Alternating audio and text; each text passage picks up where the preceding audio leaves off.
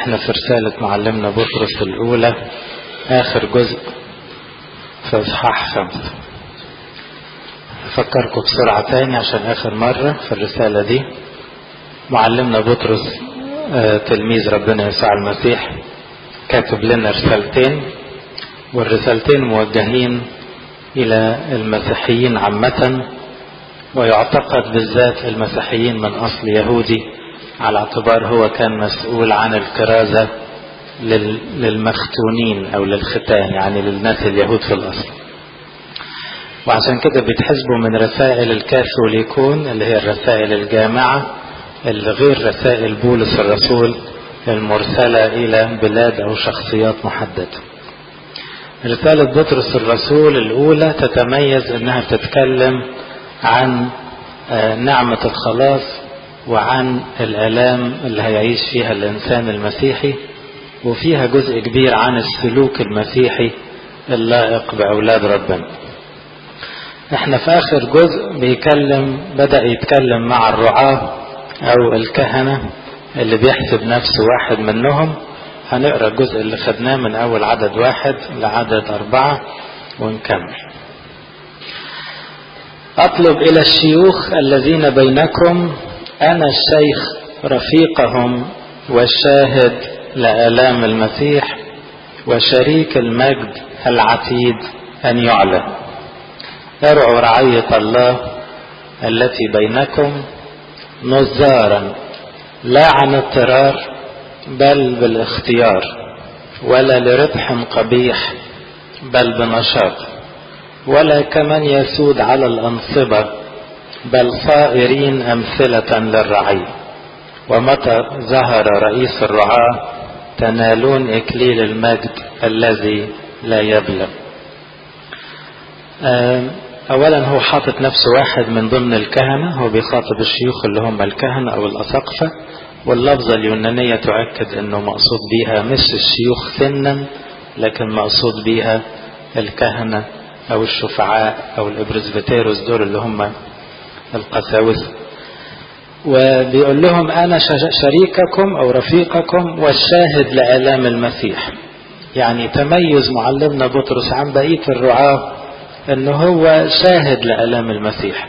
دي بتديله ثقل في الخدمة أنه كان حاضر مع المسيح آلامه وكان حاضر معاه صليبه وقيامته فشهد لآلامه شهادة عن عيان يعني. وده هيقوله في الرسالة الجاية كمان. لأن المسيح كان له المجد كان معين التلاميذ قال لهم تصيرون لي شهودا. فأصبحت كلمة شاهد دي كلمة خاصة بالناس بس اللي عاشروا المسيح عيانا واتلمذوا عليه. لكن جه بعديهم آباء كتير قوي قديسين كتار اتلمذوا عليهم. لكن ما شافوش المسيح بعينيهم زي ما إحنا بنفس الدرجة كده. وشريك شريك المجد العتيد أن يعلن يعني أنا أنا شارككم في الآلام وشارككم في الخدمة وبشهد لآلام المسيح زيكم ومستني زيكم المجد المكافأة ارعوا رعية الله التي بينكم. برضو قلنا أنه ما بيسميش الرعية رعيته أو رعيتهم بيفكرهم أنها رعية الله. يعني إحنا كلنا كرعاة يعني أجراء أو وكلاء لكن الرعية رعيته هو صاحب. نظارا يعني تبقى عينيكم في راسكم أو تقوموا بعملية الأسقفية أو النظارة بحكمة. وقال لهم في انحرافات مشهورة اولا عن اضطرار بلاش تخدموا باضطرار بل باختيار. يعني ما تكونوش داخلين على الخدمة كأنكم بتعملوها على مضض أو بتثقل. لا تبقوا فرحانين وكأن أنتم مختارين الخدمة دي.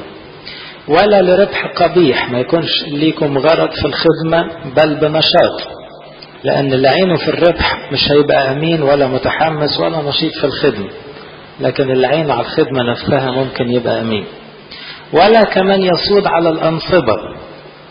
كأن دول أشهر ثلاث سقطات في خدمة أي راعي أو أي خادم. أنه تتحول الخدمة إلى أداء روتيني فيبقى مضطر يعملها لأنه اسمه خادم لكن بيعملها كده وهو مش متحمس اسمها اضطرار. أو يقع في الربح القبيح يبقى له غرض تاني غير خلاص النفوس إما فلوس إما كرامة إما معارف حاجات تانية. أو كمان يسود على الأنصبة يعني ياخد مركز رئاسي ويبقى بيجري أو يدور على الرئاسة والسلطة في الخدمة بتاعته. بل صائرين أمثلة للرعي. يعني حاسبوا من الحاجات دي وخليكوا دايما قدوة قدام رعيتكم. وكل راعي المفروض يبقى قدوة قدام رعيته لأنه ما يقدرش يكلمهم عن الصلاة ما يكونش بيصلي ما يقدرش يكلمهم عن المحبة ويكون واقع مع الناس.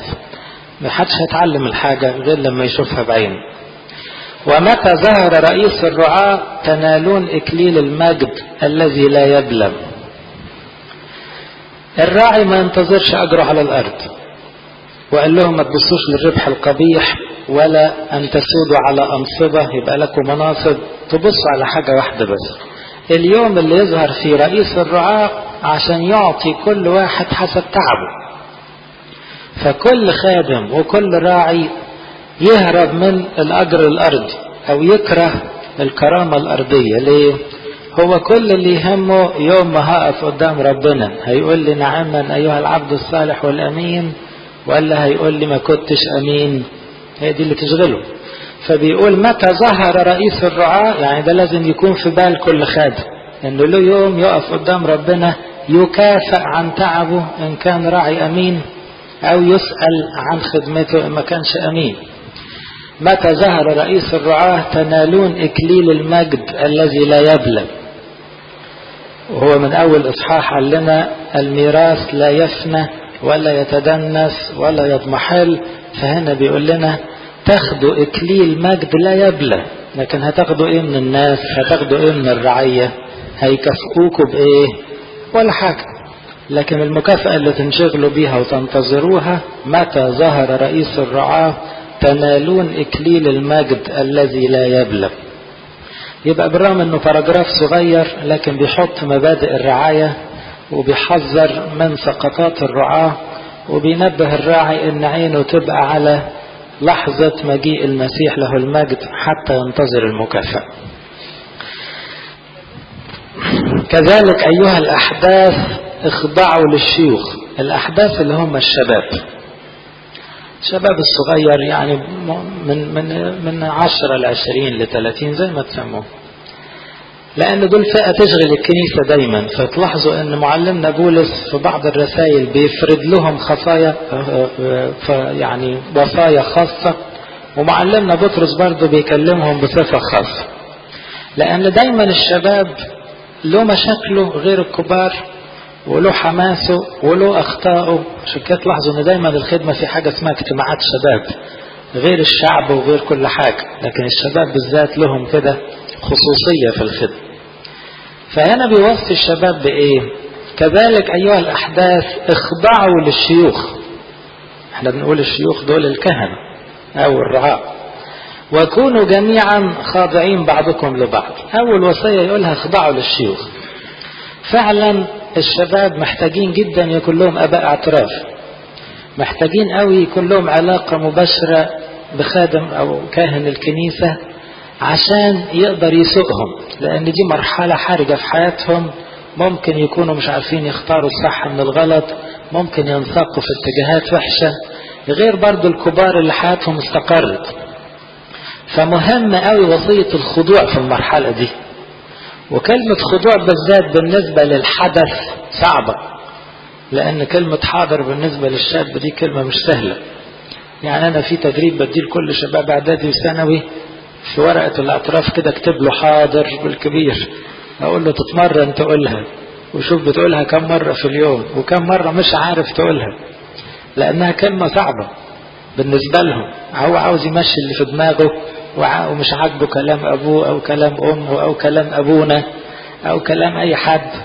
فعشان يقول حاضر دي بالنسبة له مش سهلة. بينما دي ممكن تحفظه من حاجات كتير قوي فهنا وصية معلمنا بطرس أيها الأحداث اخضعوا للشيوخ. وكونوا جميعا خاضعين بعضكم لبعض. مش معنى كده إن الكلمة دي خاصة بس بالأحداث لا. الخضوع فضيلة. الراجل يخضع لمراته ومراته تخضع له. والأولاد يخضعوا لأبائهم. وكل شعب الكنيسة يخضع للرعاة. والرعاة والشعب يخضعوا لربنا. والخضوع ده فضيلة. مفيش حد مش محتاجها.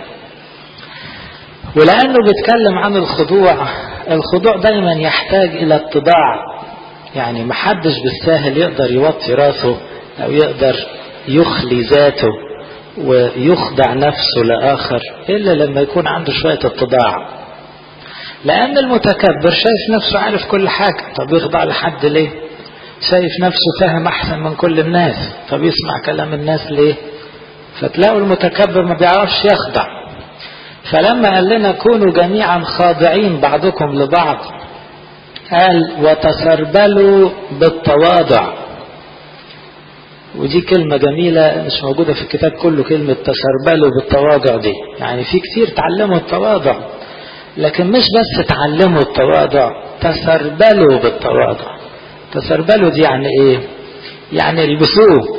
يعني خلي التواضع حاجة لازقة فيكم.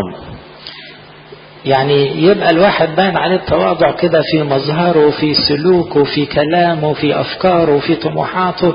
التواضع ده يبقى لبس ولبس مش مجرد في مواقف متواضع فيها لا ده, ده على طول متواضع. وأنا عاوز أكلمكم شوية عن التواضع لأن هنا هيتكلم عنه شوية يقول تسربلوا بالتواضع لأن الله يقاوم المستكبرين. الله يقاوم المستكبرين. وأما المتواضعون فيعطيهم نعمة. وبعد كده يقول فتواضعوا تحت يد الله القوي لكي يرفعكم في حينه يعني بيوصينا على التواضع مرتين. يقول تسربلوا بالتواضع وبعدين يقول تواضعوا تحت يد الله القوي. التواضع أكثر فضيلة تحرس الإنسان وتدخله السماء. يمكن أهم فضيلة هي المحبة وأكثر فضيلة تحرس الإنسان في مسار الروحي التواضع. حتى أن الآباء قالوا أي فضيلة تكون عندك بدون تواضع ممكن تتحول إلى رذيلة وممكن تضيع في أي وقت. لكن التواضع يحرس الإنسان في سكة ربنا. التواضع يخلي الإنسان مقبول قدام ربنا حتى لو صفحته كلها كانت سوداء حتى لو حياته كلها كانت مليانة سقطات وثغرات وتهاون وإهمال وتقصير. لو يعرف يقف قدام ربنا متواضع دي لوحدها تدخله السماء تديله نعمة. يعني إيه تديله نعمة؟ يعني ربنا يبص له كأنه معجب بيه. حتى لو شرير أهو لو شرير وعرف يتسربل بالتواضع يغطي نفسه بالتواضع يجد نعمة. عشان كده يقول لنا المتواضعون يعطيهم نعمة في ترجمة أخرى يجدون نعمة. يعني ربنا يفرح بيهم ويرضى عنهم وكمان يديهم حاجات بركات روحية كتير قوي التواضع ده عملة نادرة يعني لو أي حد تصور أنه عنده تواضع يبقى أكيد مش متواضع. لأن التواضع ده فعلا حاجة نادرة جدا. يعرفوه بعض الآباء أنه إحساس الإنسان أنه ما يستاهلش ولا حاجة. بدون صغر نفس بدون ما يحس بالفشل واليأس. فإحساسه أنه مديون لربنا بكل حاجة. في كل لحظة الإحساس ده ما بيسيبوش ده متواضع. أو يعبروا عنه تاني ويقولوا إحساس الواحد أنه أقل من كل الناس روحيا.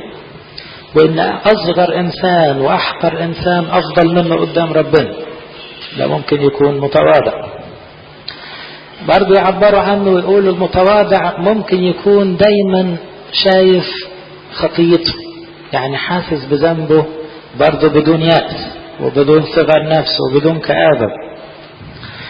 المتواضع متعلم من المسيح لأنه الوحيد اللي يعرف يعلمنا التواضع ربنا يسوع المسيح. هو اللي قال تعلموا مني لأني وديع ومتواضع القلب. يمكن نتعلم من أبونا إبراهيم الإيمان ونتعلم من موسى الحلم طولة البال. ونتعلم من دانيال الصلاة والصوم ونتعلم من إيليا قوة الشهادة لربنا لكن عند درس التواضع ما نعرفش نتعلمه من حد. الوحيد اللي يبان عليه التواضع فعلا مية في المية وبشكل واضح ربنا يسوع المسيح. لأنه هو اللي تنازل. ما هو تواضع يعني إيه؟ يعني تنازل. لكن أي إنسان مهما كانت عظمته ما هو في الأصل شوية تراب. يعني هو كان إيه عشان يتنازل؟ ما هو ربنا اللي عمله بني آدم وعمل منه حاجة ورجع يعني يكتشف حجمه.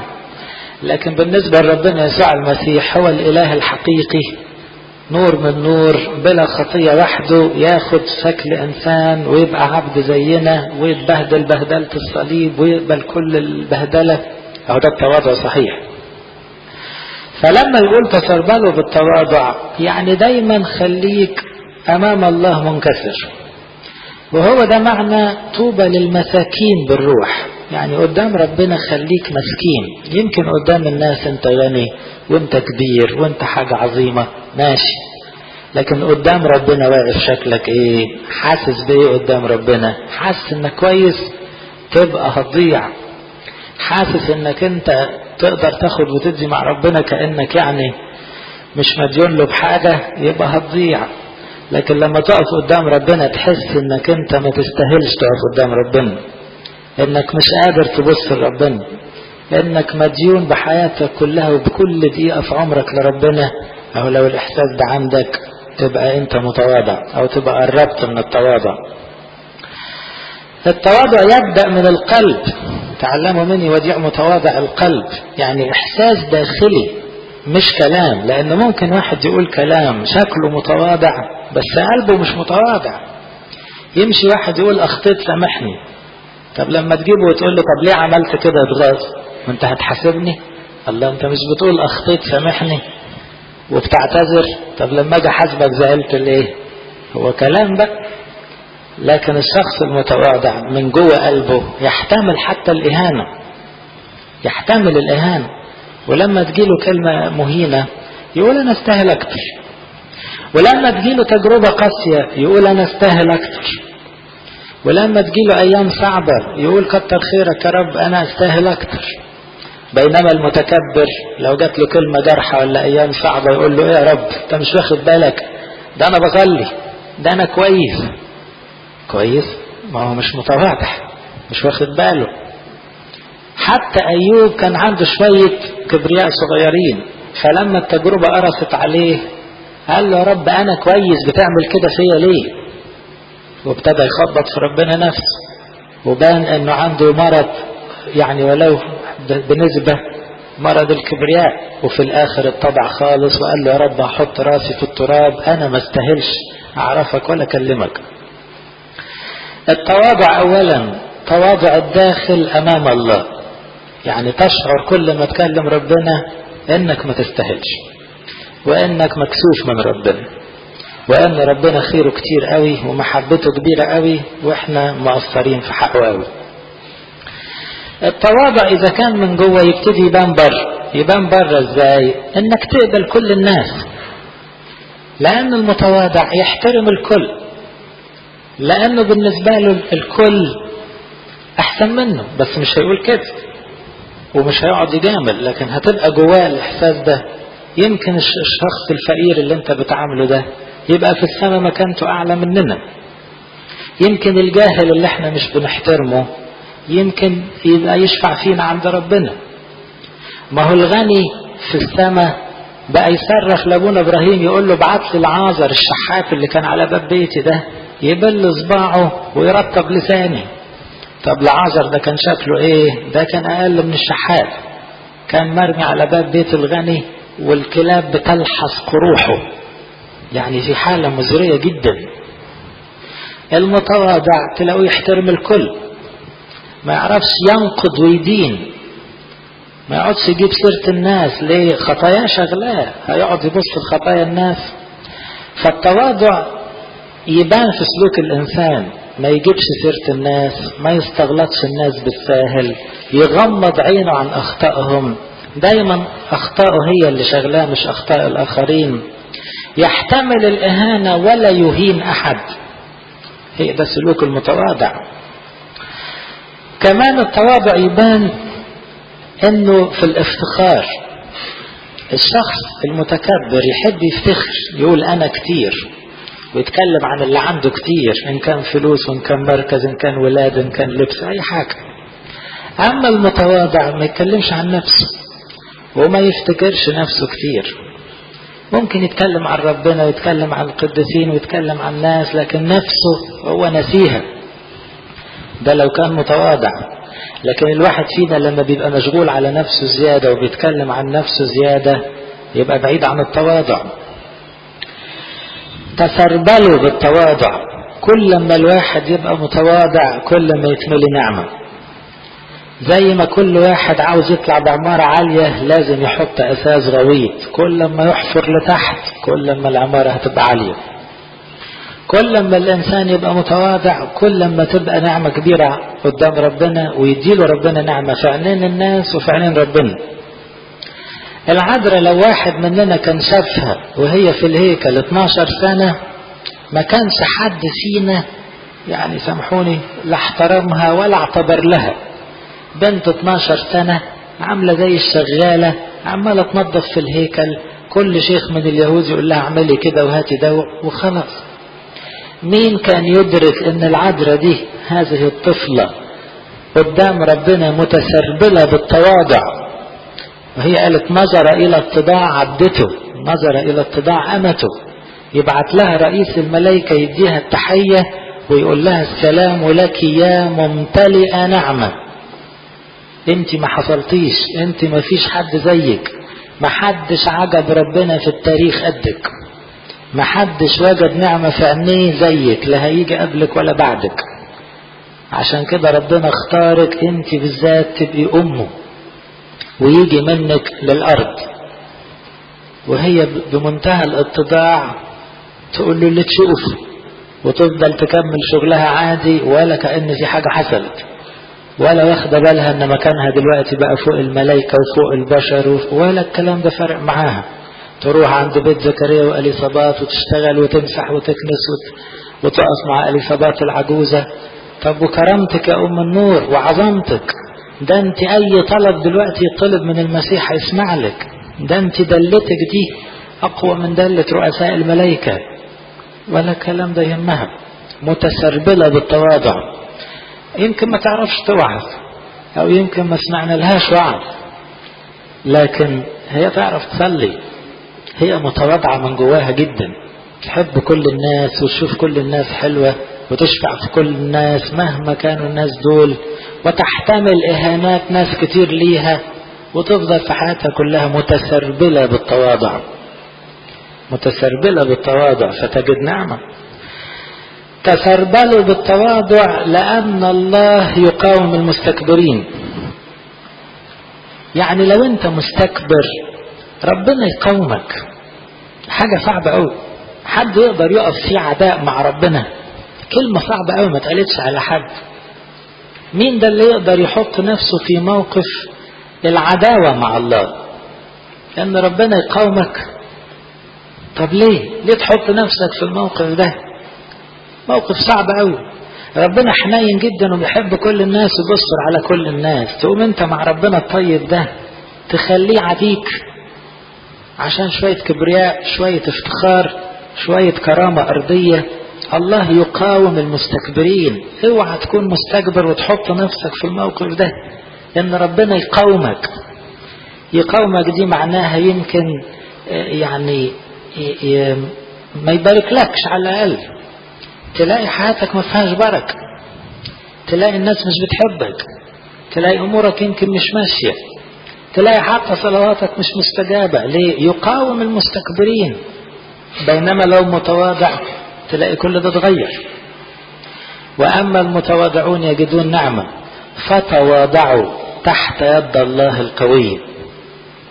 كمان من مداخل التواضع أنك تفتكر أن ربنا إيده قوية. أنا وأنت إيه شوية تراب موجودين النهاردة مش موجودين بكرة. ما فيش داعي للافتخار بالعظمة والقوة والمركز والصحة والكلام ده كله. كلام خداع. لكن إيد ربنا إيد قوية. لما تحط رأسك تحت إيد الله القوية بالتضاع تاخد منه اللي أنت عاوزه. تواضعوا تحت يد الله القوي. يد الله سمحت بتجارب تقول له يا رب أنا تحت إيدك اعمل اللي أنت عاوزه. أنا يا رب ما استاهلش إنك أنت حتى تجربني عشان توديني السما أنا كان ممكن تنساني وتقول ده يروح جهنم يروح وخلاص. لكن أنا بتضع تحت يدك القوية. تواضعوا تحت يد الله القوية. اللي شايف إيد ربنا قوية يقف قدامه دايما في خوف. فالإنسان الروحاني بيخاف من إيد ربنا لكن يخاف عن حب والخوف علامة اتضاع لكن واحد واقف في الكنيسة مستهتر عمال يتكلم وعمال يضحك وعمال يخبط ويمكن يزعق هو لا شايف ربنا. وخوف ربنا مش في قلبه ومش حاسس إنه محتاج يتضع تحت يد الله القوي. لكن ده لو شايف ربنا هيوطي رأسه ويقول أنا قدام ربنا أسكت. هقول إيه؟ تواضعوا تحت يد الله القوية لكي يرفعكم في حينه. في واحد يقول بس أنا ما بحبش الموقف الضعيف ده. أنا ما بقولش تضعف قدام حد إلا ربنا. خليك قدام ربنا ضعيف. ودي حقيقة. قدام الناس خليك قوي ماشي. لكن قدام ربنا ما تنكرش إنك ضعيف. خليك فاكر إنك ضعيف. اتمسكن اتذلل. هو ده التواضع. قدام ربنا بس بينك وبينه محدش عارف أنت بتقول له إيه وحاسس بإيه. العشار اللي كان يطلع على الناس ياخد الجباية ويزعق في الناس ويلم فلوس مش حقه. جات له لحظة اتضاع حلوة دخل الهيكل بقى مش قادر يرفع عينيه لفوق وخبط على صدره وقال له ارحمني يا رب لأني خاطي. مجرد عمل كده وجد نعمة. فالمسيح يقول نزل مبررا. عرف يتضع تحت يد الله القوية فخد رفعة رفعه. كل ما الواحد فينا يتضع كل ما ربنا يرفعه.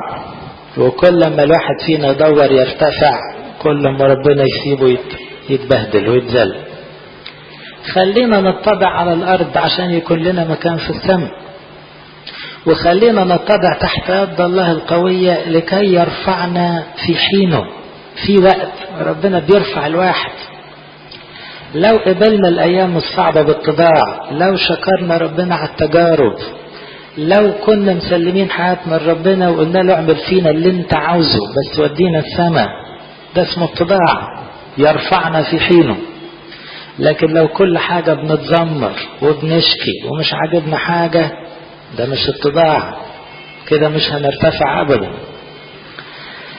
من مداخل الاتضاع إن الواحد يشكر على كل حاجة؟ لأن اللي بيشكر على كل حاجة متواضع. لأنه قابل من ربنا كل حاجة. من مداخل الاتضاع إن الواحد يحاسب ويراجع على نفسه بيغلط في إيه؟ في حق ربنا.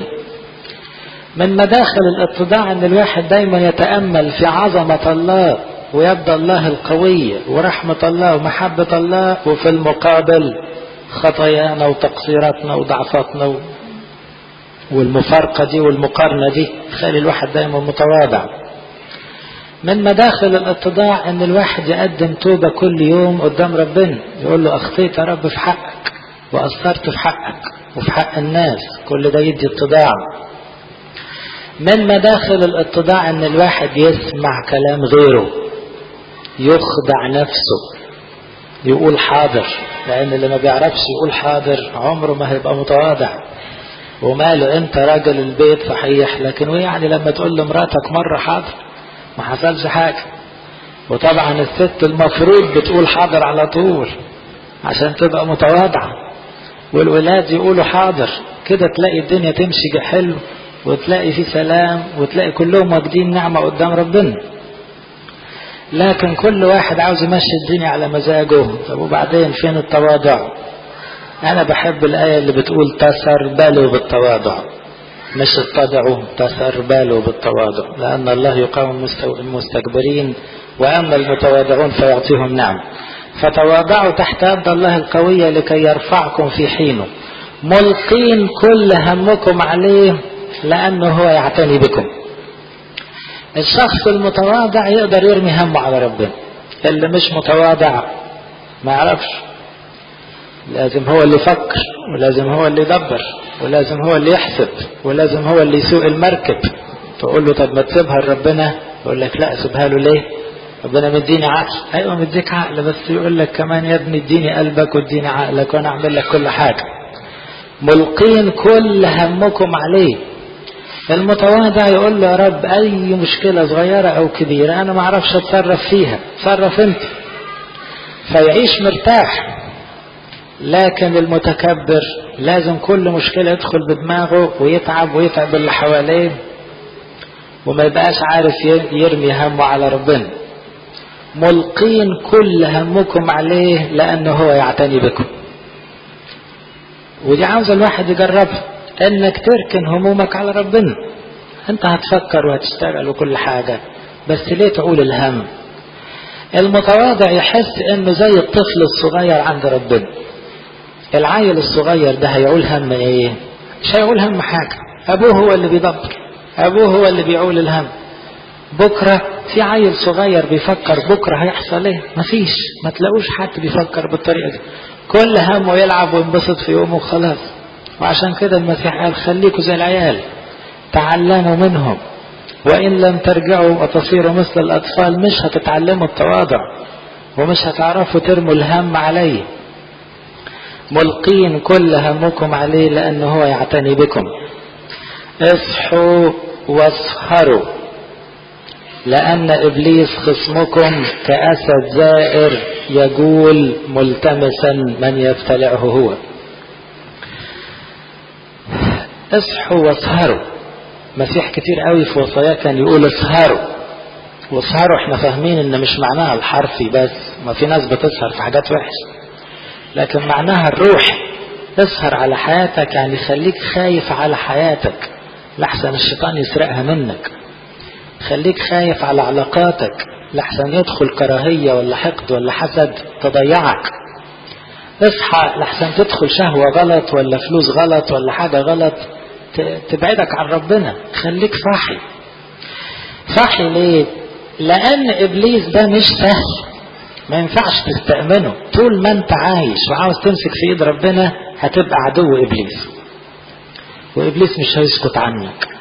وإبليس ده عامل زي الأسد اللي عمال يتحرك كده. عارفين لما تروحوا تتفرجوا على قفص أسد تلاقوا الأسد قلقان كده.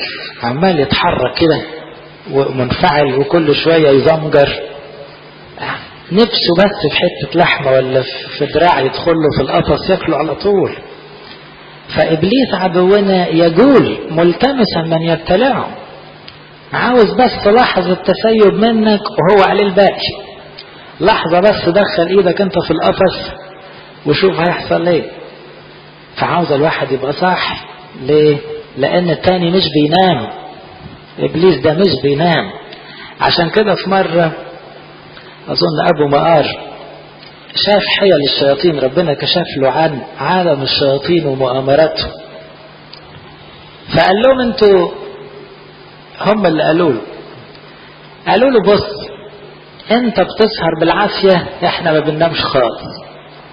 انت تصوم وتجوع وتضطر تاكل إحنا ما بناكلش خالص. لكن عارف انت ممكن تغلبنا بإيه؟ انت تعرف تتضع إحنا ما نعرفش نتضع ابدا. الحاجة الوحيدة اللي عندك تقدر تغلبنا بيها لا كثرة السهر ولا كثرة الصوم الحاجات دي إحنا محترفين لا بناكل ولا بننام عشان نوقع البشر لكن الحاجة اللي البشر يقدروا يعملوها تغلبنا وتذلنا وما نقدرش بيها عليهم إن هم يعرفوا يتمسكنوا قدام ربنا. إحنا ما نعرفش. التواضع يدي سلطة على الشياطين يغلب الشياطين مهما كان. اصحوا واسهروا لأن إبليس خصمكم خصمكم. ده مش خصم ربنا ده خصمنا إحنا كمان. عاوز يضيعنا. كأسد زائر يجول. كلمة زائر دي يعني بيزقر يعني مزعج ما بيسيبش الواحد في حاله. يجول ملتمسا من يبتلعه. يعني عاوز ياكل أي واحد في أي لحظة. ده يخلينا نصحى مش بس على حياتنا على أولادنا. ولادك بيروحوا فين؟ أصحابهم شكلهم إيه؟ الأماكن اللي بيدخلوها فيها اسد زائر ولا فيها مسيح وديع. كل ده محتاج الواحد صاحي. في واحد يقول ما أنا بصلي لهم. أيوه صلي لهم بس خليك صاحي. لحسن إبليس ده مش هيسكت. عاوز يضيع كل حاجة. فقاوموه. واحد يقول هو أنا قد إبليس اقاومه أيوه تقاومه نص وأنت لوحدك. هو اسد وربنا ادانا سلطان على الأسد. قاوموه راسخين في الإيمان. لما الواحد يبقى متشبث بالإيمان وثابت في كلام الكنيسة يقدر يبقى قوي ويقاوم عدو الخير. ساعات إبليس يجي بمداخل ملتوية فياخد الواحد يلخبط إيمانه. يقول له هنقرأ الإنجيل وكل حاجة بس تعالى نطلع إيه؟ شوية أفكار كده. فكرة تطلع إيه زي ما سمعت من كام يوم. يقولوا بدل ربنا رحمته واسعة يبقى أكيد محدش هيروح جهنم. طيب المسيح قال كده ولا دماغ الناس اللي بتقول كده؟ ده إبليس اللي بيقول كده. إبليس بيقول كده ليه؟ ده بيقول رحمته واسعة. طب ما ده كلام كويس. أيوه ما هو بيقول رحمته واسعة. عشان ما حدش يتوب وما حدش يجاهد وما حدش يعمل حاجة. وبعدين في اليوم الأخير يقول لك ضحكت عليك ده في جهنم مستنياك. فقاوموه راسخين في الإيمان. فلما الواحد يسمع فكرة كده غريبة يقول لا أرجع للكنيسة أسأل. صحيح يا كنيسة في جهنم ولا ما فيش؟ في دينونة للأبرار وللأشرار ولا خلاص؟ طبعا في دينونة. تعليم تلخبط وتضيع قاوموه راسخين في الإيمان. عالمين أن نفس هذه الآلام تجرى على إخواتكم الذين في العالم. ساعات واحد يتعب ويقول إيه يعني هو الشيطان ده قاعد لي. كل ما اتحرك خطوة يعمل لي حفرة. صدقني مش أنت لوحدك. اللي يشجعك إن كل إخواتك اللي عينيهم على السماء إبليس بيعمل معاهم كده. انت فاكر انت الوحيد اللي بتجرب انت الوحيد اللي عاوز يوقعك؟ لا. كل اخواتك يتعرضون لهذه الآلام. فتشجع. كل القديسين اللي سبقونا للسماء ملايين سبقونا. كلهم وقعوا في حرب مع إبليس وغلبوه. اوعى تفتكر إن إبليس ده ما بيتغلبش. ده إبليس ده منظر على الفاضي. ده ملايين غلبوه زلوه قبل كده. لكن مسكوا في ربنا وجهدوا وخدوها جد وعدوا وكبسوه وغلبوه.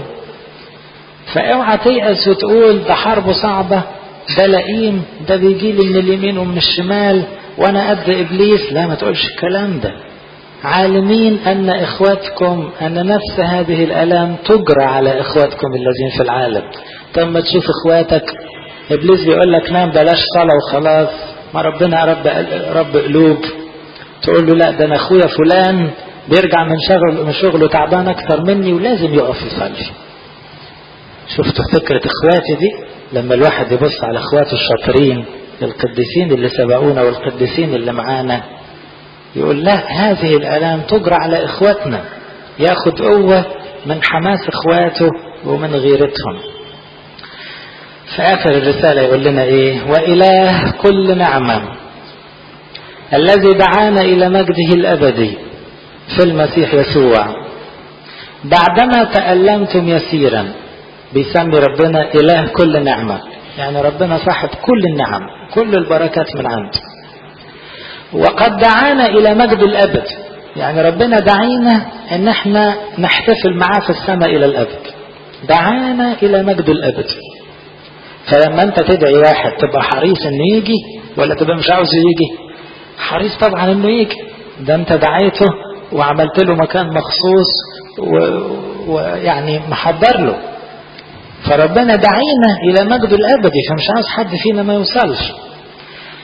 بعدما تألمتم يسيرا لو دخلنا في هذه الألام وهذه التجارب وهذه الحروب لو حاربنا فيها وقاومنا إبليس هنكتشف إن في الآخر الحياة إن الحرب دي ما كانتش صعبة قوي وهذه الآلام كانت يسيرة.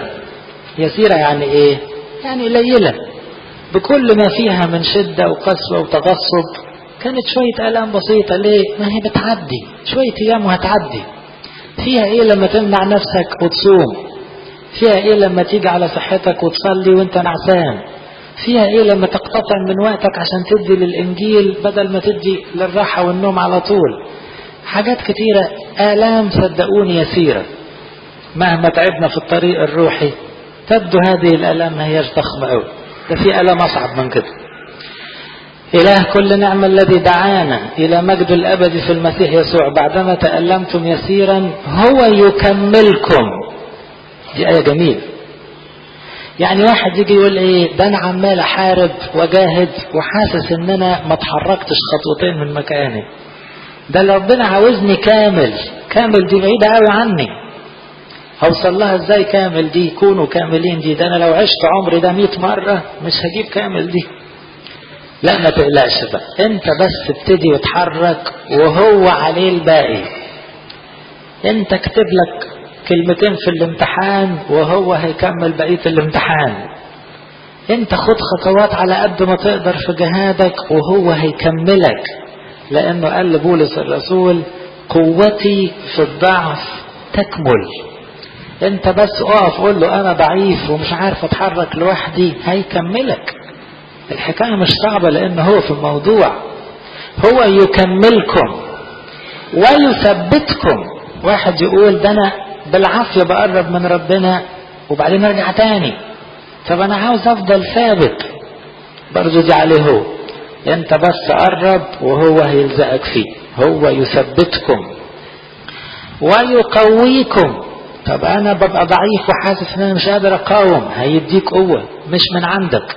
هتحس في وقت إنك بتقدر تقول لأ للشر اللي كنت قدامه ما تقدرش تقاومه ابدا. هيقويك هيديك حاجة مش بتاعتك. ويمكنكم يمكنك يعني إيه؟ يعني تبقى أنت النصرة في إيدك. يمكنك يعني ينصرك. يمكنك يعني تبقى ماسك في ربنا بقوة. له المجد والسلطان إلى أبد الآبدين آمين. يعني ربنا قصاد كل اللي بيعمله معانا ده له كل المجد وله كل السلطان على كل شيء إلى الأبد. في آخر الرسائل اعتاد الأباء يقولوا لنا الرسالة دي مبعوثة على إيد مين عشان نتأكد من إنها واصلة للناس وهي دي الرسالة اللي كتبها فعلا فيقول بيد سلوانس الأخ الأمين. يعتقد أن بعض الرسائل دي كان يملوها الآباء الكبار اللي زي بطرس وفي آخر خالص يكتب بخطه المعروف عند ولاده يقول أنا باعت الكلام ده على إيد فلان. عارفين زي السكرتيرة لما تكتب جواب وبعدين إيه؟ المدير يمضي تحت. عشان بس الناس تتأكد إنه ده مش كلامها هي أو كلام أي حد. فهنا يقول بيد سلوانس الأخ الأمين كما أعتقد. هنا كما أظن يعني مش يمكن يبقى أخ أمين لا يعني كما كما أثق يعني. يعني أنا أثق إن هو أخ أمين فبعت الرسالة على إيده. كتبت إليكم بكلمات قليلة. اعتبر الخمس إصحاحات كلمات قليلة. ماشي؟ فاللي يقرأ خمس إصحاحات في اليوم ما يفتكرش إنه قرأ يعني كتير. لا ومال كلام قليل مش كتير وعظا. يعني إذا رسالة بطرس دي تعتبر وعظة على بعضها. وشاهدا. أن هذه هي نعمة الله الحقيقة بالحقيقة أو الحقيقية يعني أنا بشهد وبوعظكم وبفكركم أن هي دي نعمة ربنا. ربنا هيقويكم ويثبتكم ويمكنكم ويكملكم بس تشتغل. هذه هي نعمة الله الحقيقية التي فيها تقومون. يعني إن كنت واقع وساقط إيه اللي هيقومك؟ نعمة ربنا. إن كنت ميت في الخطية إيه اللي يقدر يقومك؟ نعمة ربنا تقيمك. إن كانت حياتك كلها عدت بنوع من الفتور والكسل والتك... وعلى آخر حياتك قدمت توبة لربنا حط رأسك وما تخافش. ربنا هيقومك في مجد الابدي برضه. نعمة الله التي فيها تقومون. يعني هتقوم في النعمة يعني ربنا هيقومك ويقول لك تعالى زيد معانا في السماء. تسلم عليكم التي في بابل المختارة معكم ومرقص ابني. احتار المفسرين. مين دي اللي بتسلم عليهم؟ البعض قال عليها قد تكون زوجة بطرس. عارفين بطرس واحد من الرسل اللي كانوا متجوزين. بدليل قصة شفاء حماته. واحد مش هيبقى عنده حما من غير ما يكون عنده زوج. فهنا قد تكون دي زوجته لأنه في موقف آخر يقول إن بطرس كان يجول بأخت زوجة يعني كانت مراته بتلف معاه في الخدمة والكرازة. فقد تكون هي دي زوجته. وقد تكون اسم شخص أو حد معين هم عارفينه كويس بيبعت السلام. بابل يظن إنها بابليون اللي في مصر القديمة. لأنه يعتقد أن بطرس غالبا كتب الرسالة دي من مصر. في مفسرين كتير قالوا كده. بدليل كلمة مرقس ابني لأن مرقس كان مسؤول الكرازة في مصر. ومرقس هنا مش ابنه بالجسد هو تلميذه. مرقس كان سنه صغير بالنسبة لمعلمنا بطرس وبينهم قرابة.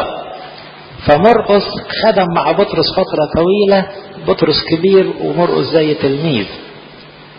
فمرقس هنا يعتبر تلميذه. والبعض بيقول لا بابل دي ممكن تبقى اسم حركي عن أي بلد شريرة لأن كلمة بابل كانت في عرف الكتاب رمز للفساد والوثنية لأن الشعب زمان اتأثر واتسبب في بابل وكانت كلها أوثان وكلها أصنام. فلما يقول بابل يمكن مش عاوز يقول هو بعت الرسالة من فين فيقول لهم بيتكلم عليكم اللي في بابل وخلاص هم يفهموا بقى. سلموا بعضكم على بعض بقبلة المحب. وإحنا ما زلنا بنعملها كطقس في كل قداس ونقول قبلوا بعضكم بعضا بقبلة مقدسة. دي وصية رسولية. يعني السلام اللي جاي من بطرس لولاده يتنقل من واحد للتاني بقبلة المحب. سلام لكم جميعكم الذين في المسيح يسوع. يعني كلهم وكلكم اسمكم في المسيح يسوع. يعني اللي رابطنا ببعض إن إحنا كلنا جوه المسيح إن إحنا كلنا أعضاء في جسد المسيح. فنسلم على بعض بحب ونشيل مشاكل بعض بحب.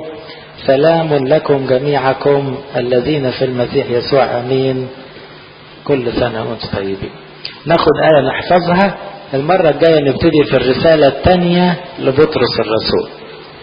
نحفظ مع بعض تسربلوا بالتواضع لأن الله يقاوم المستكبرين وأما المتواضعون فيعطيهم نعمة. احفظ على قد ما تقدروا نقولها مع بعض.